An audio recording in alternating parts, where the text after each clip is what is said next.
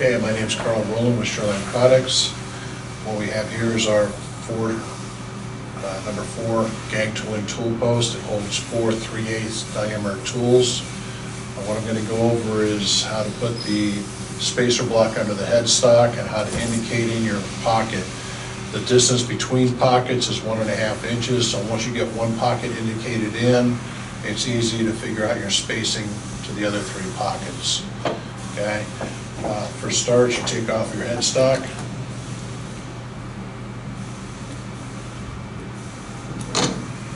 Okay, what you get with your spacer block is a different pivot pin, the spacer block itself, and another headstock key. Okay, this spacer block, when you put it on here, is set so that your headstock height uh, is on center line with your tool post. It's important to note that once you have this on here, your headstock is no longer the same height as your tailstock, so you cannot do tailstock jobs with this. It's set up primarily and specifically to use your lathe as a chucker lathe, a multi-tool gang tooling lathe, okay? So, uh, the headstock is off. In order to change out the pivot pin, what you must do is, I'm gonna flip this over, take out the two 1032 screws that are on the bottom, holding the bed to the base. Okay, the one on the headstock side has one small washer. The one on the tailstock side has two larger washers.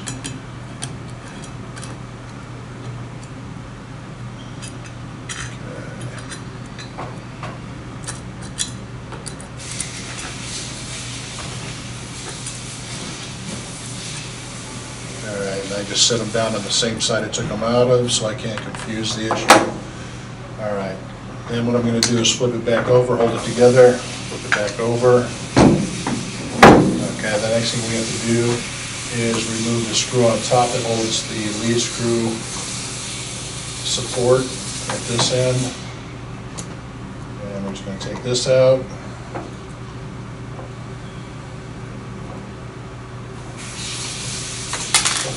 That's your 82 degree pan head screw. Okay, if I take the entire base off right now, you'll notice that it's got a cutout on the lead screw support.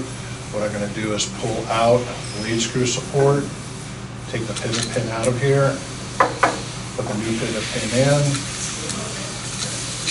Okay, put the lead screw support back in with the cutout facing down. Okay, it's all the way in. I put it back on the base so I have a nice surface to, to mount it onto.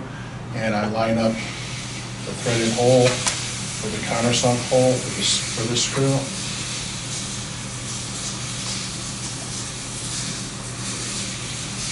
Okay, these nugs should, these- I'm sorry. These screws should be snug, not overly tight. Good and snug is good. Okay. I'm gonna hold it together like this again and flip it over again.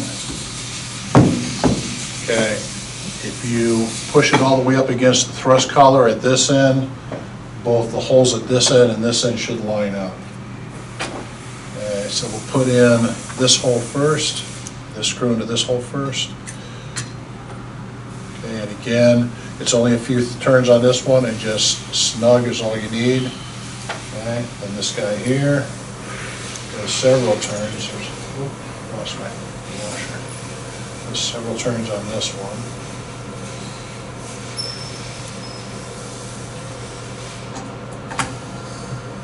Okay, get it started again. And again, it's just snug. There we go. Okay. Flip this guy back over. Okay, now, on your headstock riser block, on one side, the keyway is cut almost all the way from one end through to the other.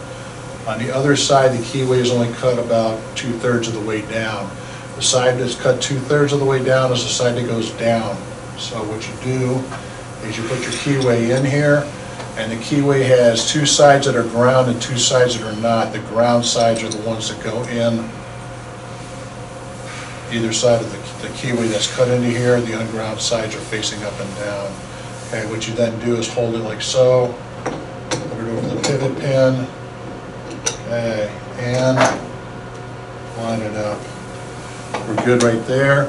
If it's down the way it should be, if the position is proper, there won't be any gap between the bottom of the spacer block and the top ground surface of the bed. There will always be a gap at the middle of the bed extrusion. For the headstock, remove the headstock key, put the headstock key into the slot on the top, push it forward as far as it will go, wipe off the bottom of the headstock, line up the headstock key, and again, there should not be any gap between the headstock and the spacer on the outside corners. I'm gonna lock my headstock into position. Okay, good and tight. Okay, I left a chuck on this headstock because everybody who owns one of our lathes has a chuck that comes with the lathe. What I'm gonna use to indicate my part in, this is a test indicator. This particular indicator is a half thou, each line is a half thou. Okay, it's got a quarter inch uh, dovetail shank on it. Um, You can either use a chuck, you can use a quarter inch mill collet, you can use a quarter inch WW collet. The chuck is quick and easy and everybody's got one. Okay, just tighten this down, snug on my indicator. Just, that's all it takes. All right, and now my indicator is set up, spinning good. Okay, what I'm gonna do now is indicate in one of the holes. It's usually wise to indicate in either end, and then your distance between, again, is one and a half inch centers. So we'll move the table over here to the first one.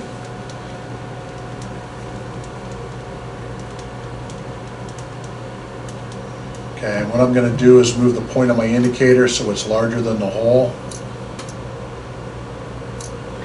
Then the Z-axis, I'm gonna bring it in. So it's close to the front of the hole, like so.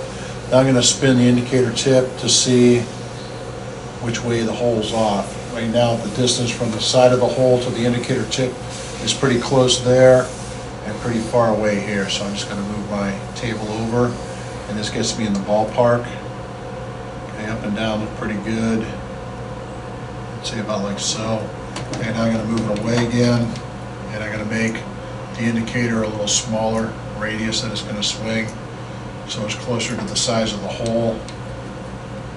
Alright, and this guy here now gives me a much clearer look at how close I really am. And I'm gonna say it needs to about like so. That looks pretty good. Now I'm gonna move it out and so, so it reads. Bring it in, oh, not enough.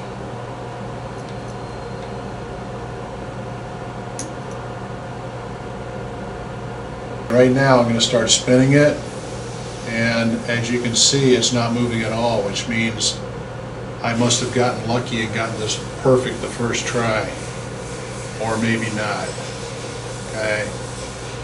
It's perfect the first try, it generally means your indicator is maxed out, not that you're perfectly on center. So move the tip of your indicator a little bit more.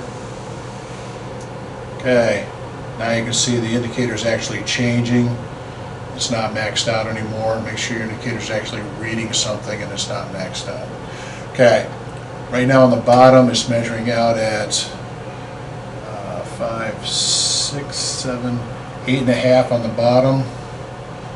I'm about almost 15 here, so I'm gonna move it so it's closer to the eight and a half. Okay, by reading here, I've got my, my mirror. I am on the other side, of 10 here.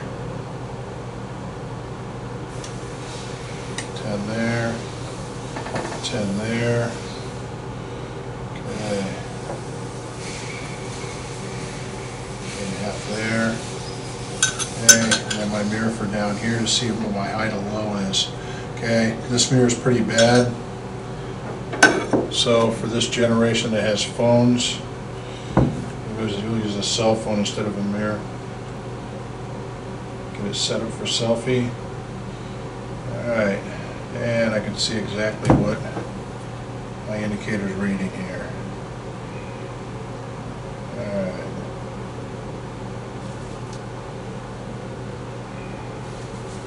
So we're at eleven and a half there. And we're at seven and a half here, which means we're basically two thousandths off center line this way. Okay, this way here, again, I am at ten right there. And I'm at eleven here, I move it halfway. Just move my hand.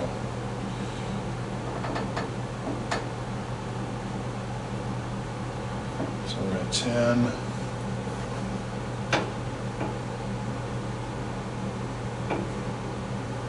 Okay. Ten and ten, both sides of it.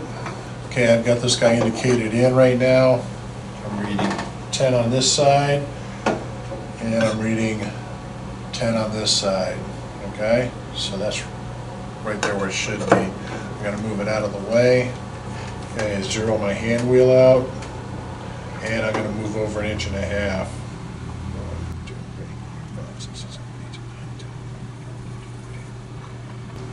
See, bring it into the next hole.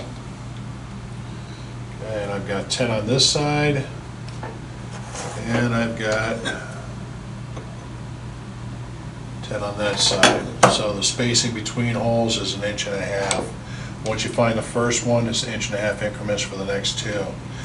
Okay, all right, the next thing, right now on these holes, if I'm going in here, the guy's measuring about one and a half thousandths above, well, it's measuring seven and a half, and this guy right here is measuring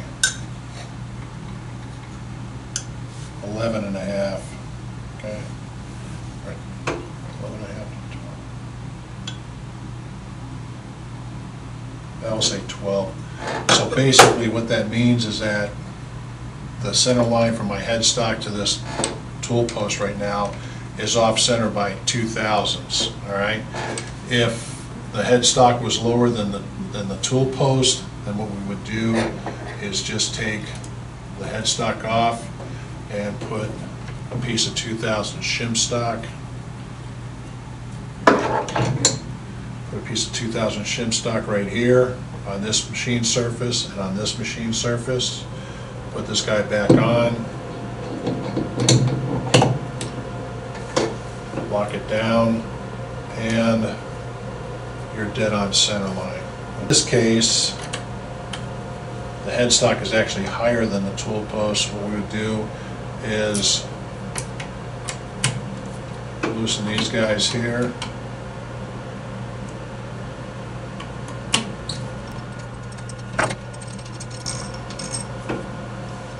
Take it off and put a piece of 2,000 shim stock under both sides of it here. Put it back on. Okay. And your center line to center line will be dead on. And then you just have to indicate your side to side in again. Okay, to explain the difference, the variation here, each of these parts, the thickness on the lay saddle, the thickness on the mill table, the distance from the bottom to the center line of this are all plus or minus one thousandths tolerance. Uh, If you stack up your tolerance, that's one, two, three thousandths. So these could be uh, also your tolerance on the headstock riser thickness and on your distance from the bottom of the headstock to center line are also both plus or minus one. You could have an absolute worst case scenario, you might be off center in your height by five, uh, or you might be dead on. It depends on how your stack tolerances are. So if you want to have your machine deadly, you are going to have to see how much you're off on your height. Uh, Thank you very much.